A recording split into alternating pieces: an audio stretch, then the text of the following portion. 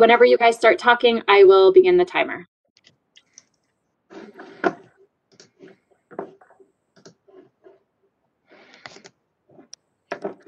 So we are OTEC Internacional, a binational marine energy company looking for investors to build a 60 megawatt hybrid OTEC plant off the coast of the island of Cozumel in Quintana Roo, Mexico.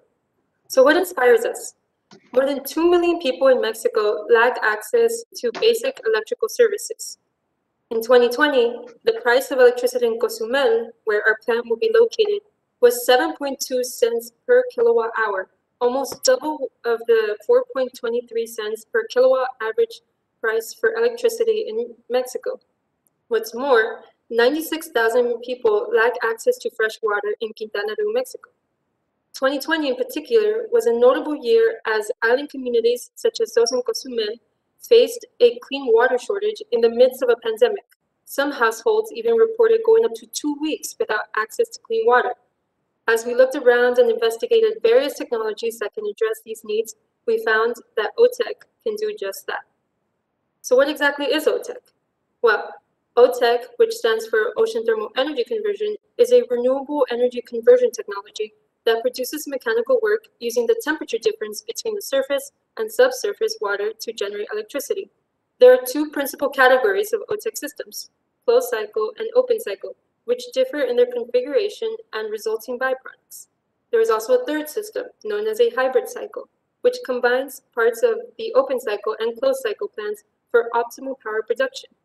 For this project, we propose a conceptual design of a hybrid OTEC system that combines the potability of water production from an open cycle with the high associated capacity factor of a closed cycle configuration. Additionally, we propose coupling the hybrid OTEC system with an offshore aquaculture farming system.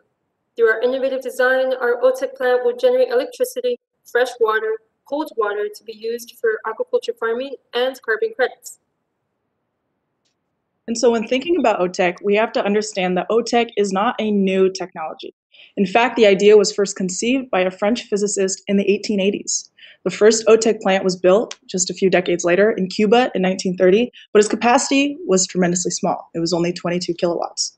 Only a handful of fully operational plants in the world exist today. The two main plants are one 100 kilowatt plant in Japan and one 105 kilowatt plant in Hawaii. That plant is pictured here in the, in the uh, left picture. It is an onshore installation, and it is the first plant ever in the history of the world to be connected to the US grid. However, we propose in our plant an offshore design that is versatile and at a scale 1,000 times larger at 60 megawatts. The versatility that our plant will give can be applied to countries all over the world.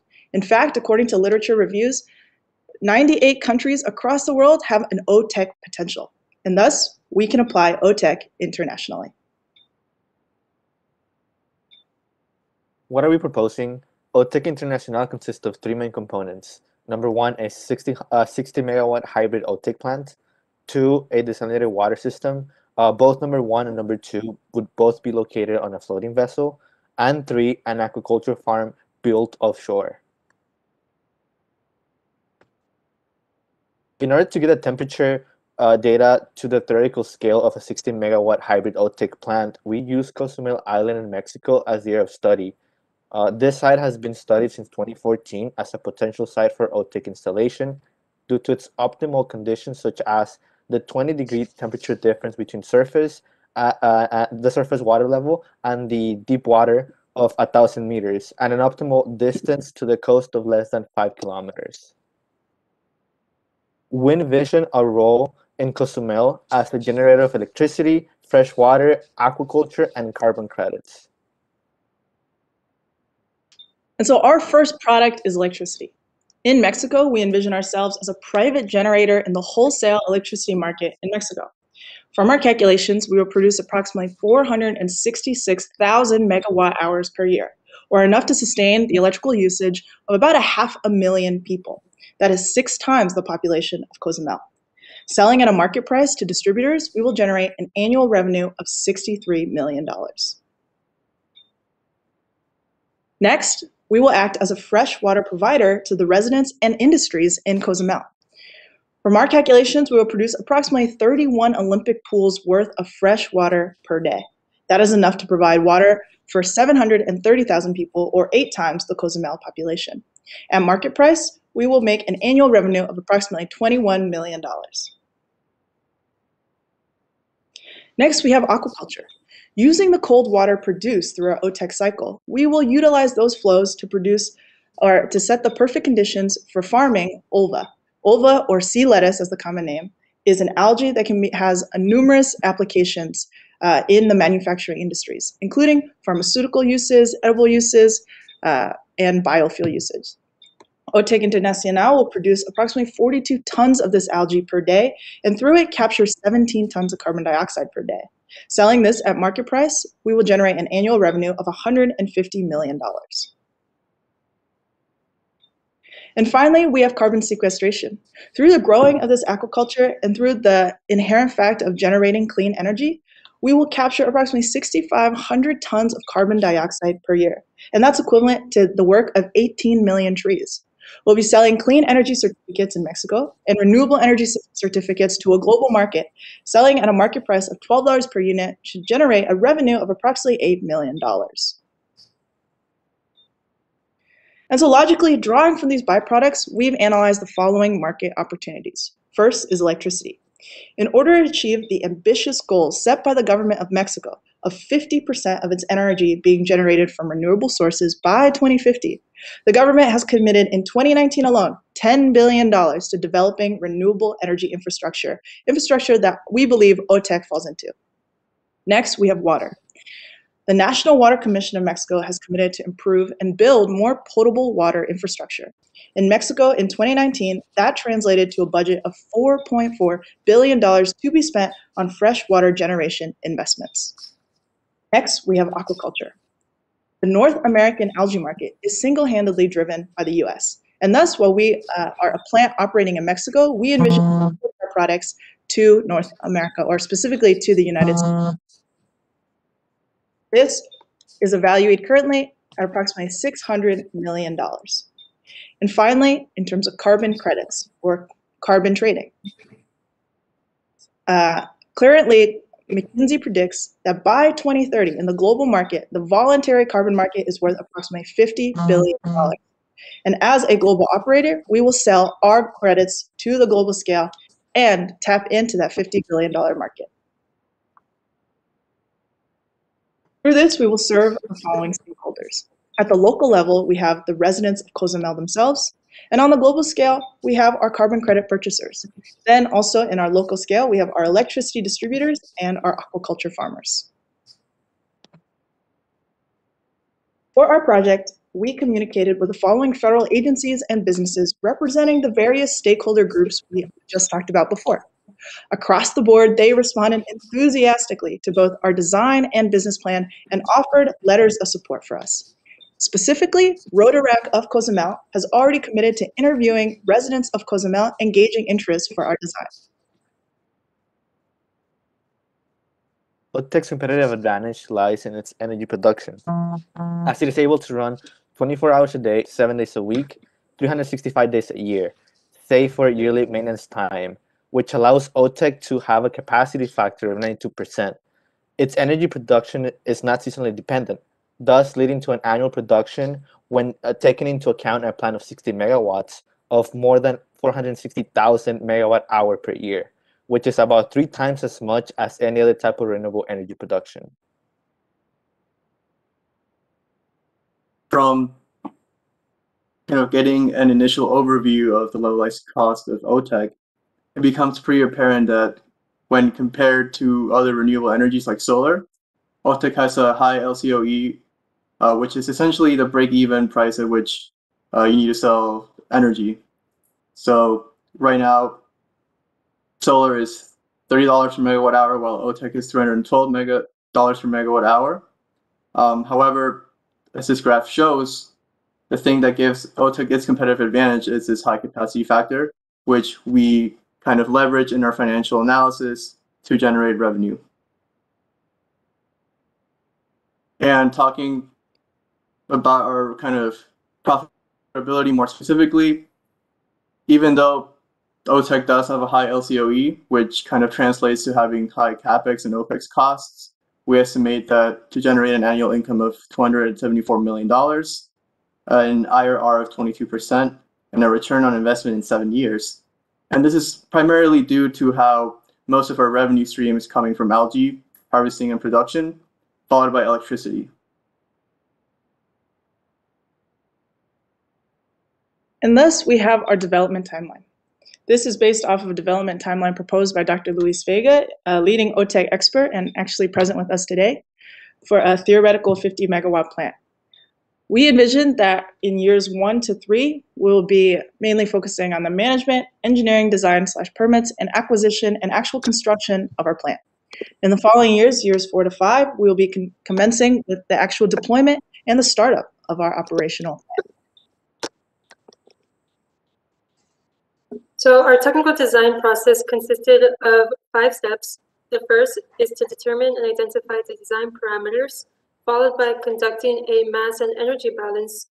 And then re- resulting from that is the component sizing, um, which led to being able to design the platform um, in order to fit each of the components. And lastly was to determine a and conduct a performance analysis and determine the loading and um, resulting products from that. Um, the process also consisted of determining the aquaculture dimensions, which we identified based off the output that we would get from the platform, as well as the power grid connection.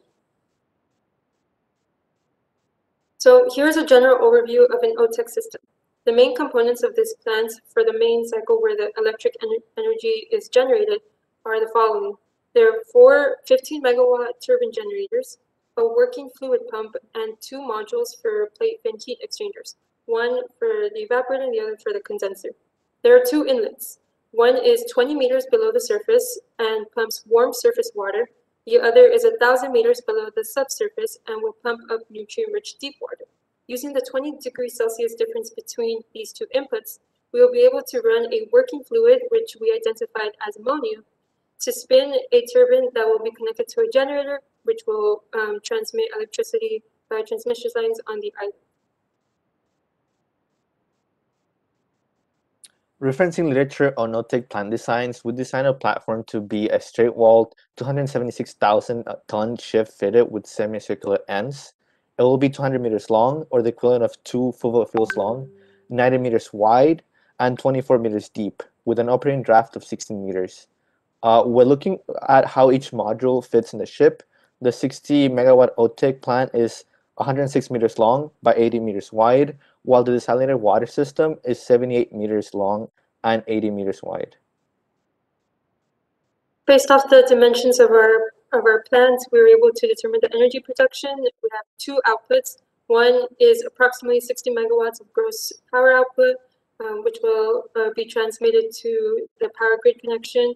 Um, the second is the cold and warm water, which we will be using um, to transfer water for the desalinated water module.